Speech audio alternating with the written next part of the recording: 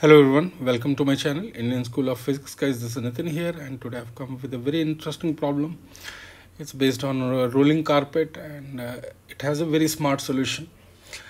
So let's discuss this problem here. This is the problem statement here a rolling carpet of mass m naught with inner radius r and outer radius capital R is mounted on a fixed very thin cylindrical rod as shown in the figure. There exists friction between rod and carpet with friction coefficient of mu. One end of the carpet is pulled down very slowly with a gradually increasing force of F naught in such a way that the inner part of the carpet will first move without slipping on the cylindrical rod. Then at a particular value of F naught tending to F critical carpet will start to slip on the road uh, rod. Uh, assume that uh, the carpet is pulled vertically down then the value of fc will be. All right so here you can uh, see this is the arrangement. And this is the cylindrical rod. This is the cylindrical rod. And this is the carpet here. And we are applying a gradually increasing force. And at a particular instant uh, you will see there will be slipping at this point all right. So let's discuss the concept uh, part and uh, here. So if we see the FBD of it it's a very smart solution in my opinion. Uh, there are three forces acting on the carpet. One is weight mg and the pulling force f and the contact force between the rod and carpet. Since the two forces mg and f are in vert uh, they are in vertically down direction these two forces their direction is known to us and due to this uh, rod at the time of uh, slipping when there is no slipping it cannot go this side or this side. So third force which is the resultant of normal and friction that is the contact force between the cylindrical rod and this it must have it must have its direction in vertically up. Because there is no horizontal movement at this particular instant. Because there is no slipping here that means uh, the this angle theta which normal makes with the total contact force it must be corresponding to angle of friction or it will be tan theta is equal to mu which we can obtain here also. Tan theta is equal to fr max by n. So this is mu into n.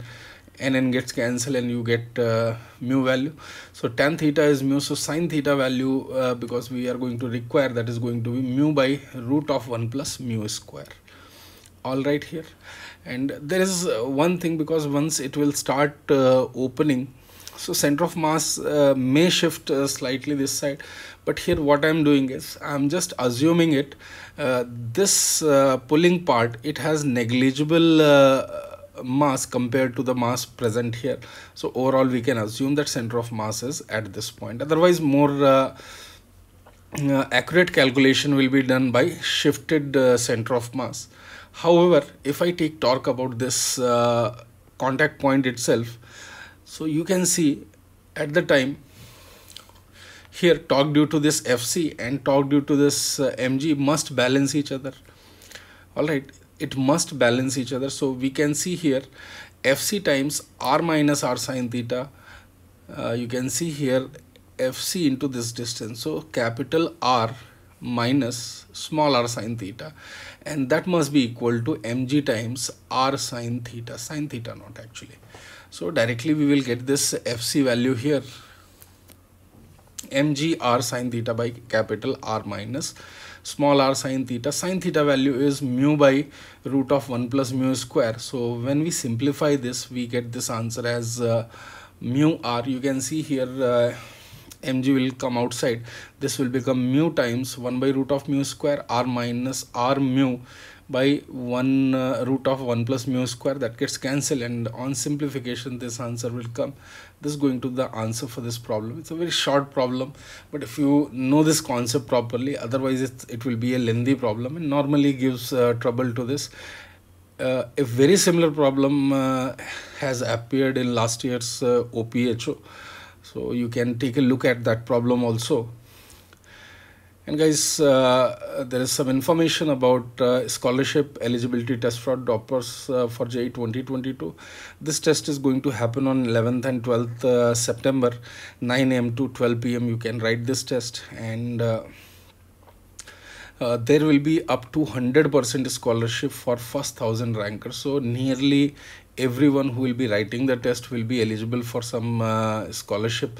So my suggestion is uh, those who are uh, already have made up their mind they can uh, definitely definitely avail this scholarship. And uh, you can start your JEE 2022 preparation and analyze your areas of improvement.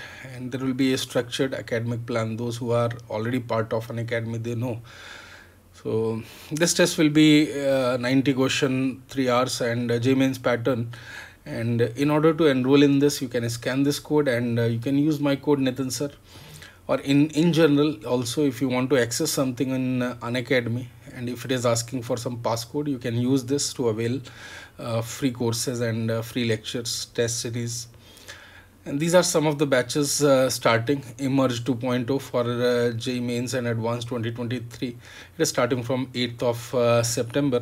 Similarly there is evolve 2.0 batch uh, which is uh, for class 12 JEE mains and advanced 2022 8 september.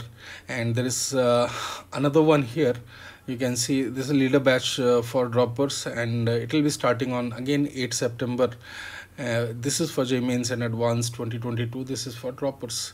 So this is it guys. I hope you have understood the concepts very well and uh, it would have given a new insight on this problem. Thank you. Thanks for watching it